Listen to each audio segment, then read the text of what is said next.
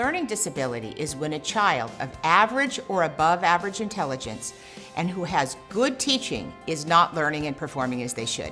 The good news for parents is your child has to be of average or above average intelligence to be diagnosed as having a learning disability. There are a variety of learning disabilities. Very often, they have a right hemisphere that's very strong.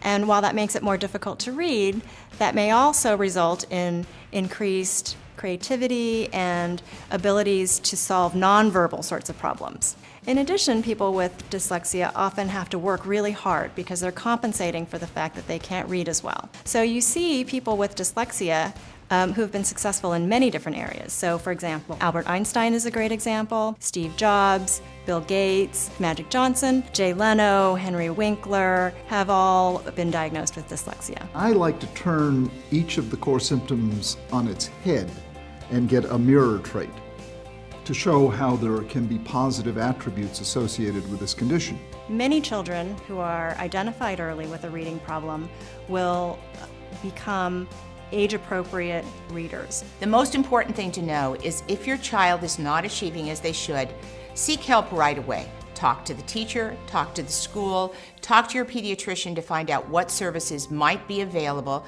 through health insurance or through school services.